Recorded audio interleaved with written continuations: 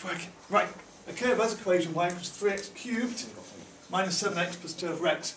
Look, they've, they've done the same thing again. It's kind of a very similar question, isn't it? To the one we differentiated before. And in the same way, before we do anything, we need to think of this. It's 3x cubed minus 7x. Now 2 over x. That should be easy to write. But a few of us made a mistake with that.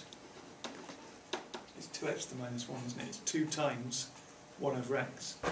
So it's 2x to the minus 1 when we write it in index form. Verify that the curve has a stationary point. Well, we should read this question and it should immediately trigger in our mind. That says we're looking for dy by dx equals 0 as a stationary point.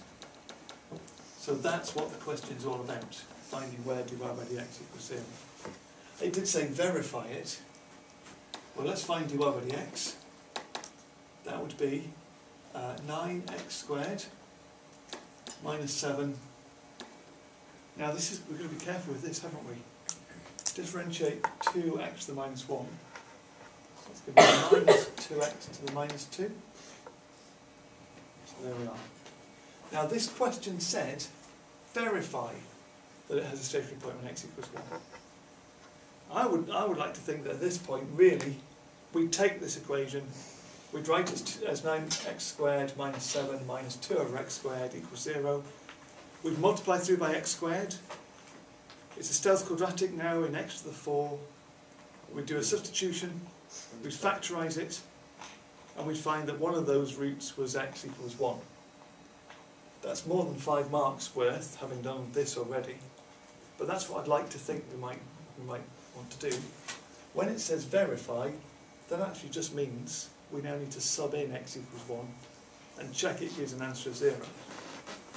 So if x equals 1, dy by dx is 9 times 1 squared minus 7 minus 2 over 1 and 9 minus 7 minus 2 does equal 0 therefore stationary at x equals 1.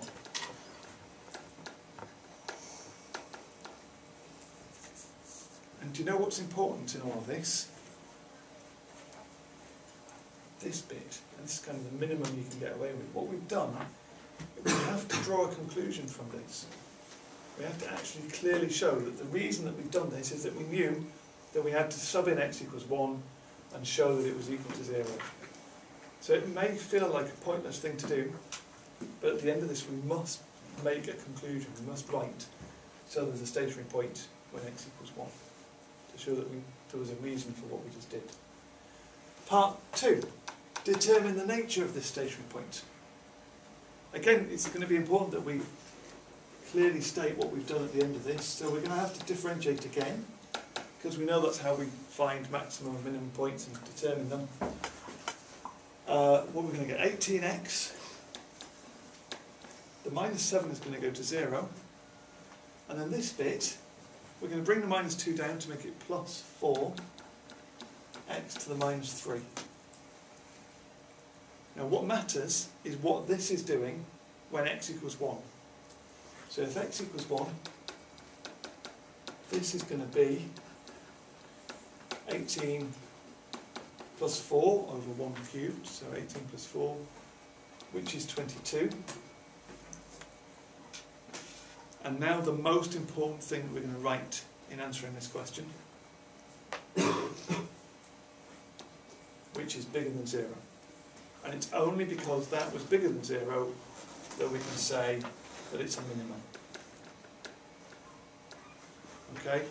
But that, that's really important. We, we could get away without writing that it's 22. The important thing is that we've shown that the second derivative is bigger than 0. Okay, we have to actually state that clearly. If you didn't write bigger than 0, then you wouldn't get the mark for it. You have to, you have to state that it is bigger than 0. Right, part 3. Um, the tangent to the curve at this stationary point meets the y-axis at the point Q. Find the coordinates of Q. Well, it's a slightly odd question, and the thing that you needed to spot, that not everybody did spot, is that this was a stationary point. Now, what does a stationary point, what's the tangent to a stationary point look like? It's a horizontal line, isn't it? Because it's a stationary point. So whether it's a minimum or a maximum, the tangent is a horizontal line. Right. So that actually means wherever wherever this point is, right, so x equals 1, isn't it? I don't know what the rest of the curve looks like. But we've just established that there's a minimum when x equals 1. And we want to know where does the tangent meet the y-axis. That's what it said, wasn't it? So, um, the x-coordinate of q is pretty easy. It's zero, isn't it? Because that's, that's on the y-axis. So the x-coordinate is zero. What we don't know is what is the y-coordinate of it. We need to know where this minimum point is. So the minimum for part three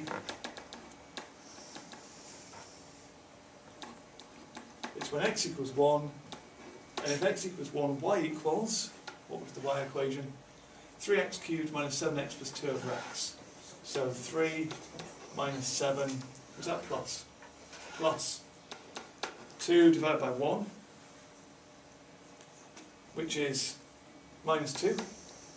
Oh, so my diagram is rubbish, isn't it? Um, so we've got our minimum point at 1 minus 2. And unfortunately, quite a few of the ones that are marked had that as their final answer.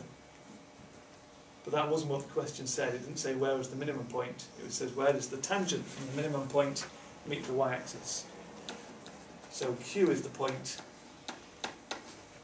0 minus 2. And that's what we had to do. Can I alter my diagram to make it look like Hey, there we go.